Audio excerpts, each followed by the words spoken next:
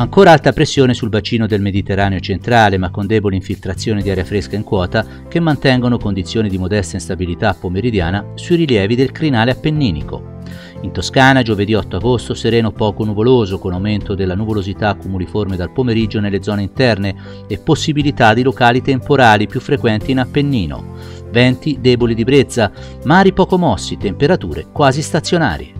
Anche sul territorio provinciale cielo sereno poco nuvoloso con locali velature. A Lucca e sulla Piana temperatura minima 22, massima 33 gradi. A Castelnuovo Garfagnane zone montane minima 20, massima 32. A Viareggio sul litorale minima 24, massima 29 gradi.